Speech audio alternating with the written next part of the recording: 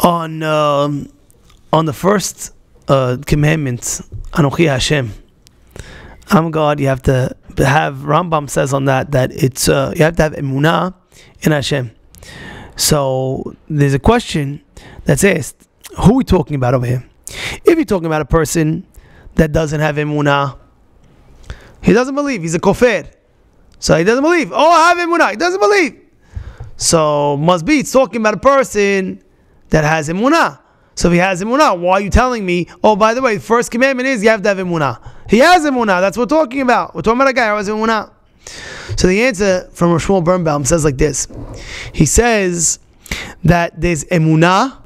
This is also uh, Mesilas Yesharim has this comment like this, but as well. But there's emunah and there's emunah. I'll explain. There's emunah knowing there's a kadosh baruch Hu around, but there's emunah of feeling that Hakadosh Baruch Hu is around. What I'm saying, what am I saying like that? There's a in the in Aleinu Leshabeach we say Va'ashavota el levavecha. Bring in to your heart, to your mind, meaning to say you should actually feel it. There is everybody. Uh, everybody has emunah. Everybody believes in Hashem. Everybody, no matter what you say, everybody believes in in, in Borei Olam. And one of the biggest proofs, I'll tell you an amazing story, was in the World War II.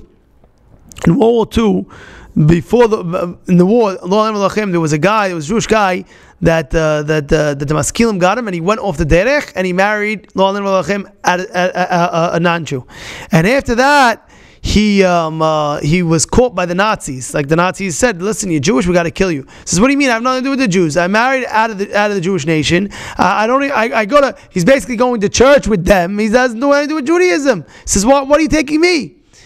And the guy, the Nazi guy that was there, he's like, he's like, you know, you're right, but uh, this is orders.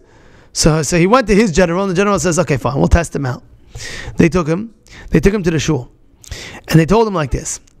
Okay, they started a fire outside the shul. They brought out a Sefer Torah. And they told the guy, You're claiming you're not Jewish at all, you have no Judaism in you, take the Sefer Torah, throw it in the fire. Says that, that I can't do. Says, Oh, that means he still have Judaism in you. They took him with the Torah, they threw him in the fire, and he died al Kiddush Hashem. It's a true story. But what, what's my point I'm trying to say? Deep down, everybody has emunah. So by him, the emunah was, uh, they had to catch it only in this level. But everybody has emunah Kadosh Baruch Hu. So the inyan over here, the mitzvah the Rambam is saying is that you have to have emunah chushit. Emunah chushit means you have to have emunah that you, you really feel it. Hakadosh Baruch Hu's around. Oh my goodness, I can't do this. He's looking at me. I can't do this. I can't. I can't eat like this. He's looking at me. You know, like things like that. This is what the. This is what we can explain to Rambam what he means when it speaks about the first commandment. Emunah. Everybody has emunah, but which type of emunah? You have to have emunah. The, the hashgacha pratit is also perfect. Is also exact. Is also bidyuk exactly that second. This was supposed to happen. That's supposed to happen. And Hakadosh Baruch Hu was there at every single moment of our lives. Have a good day.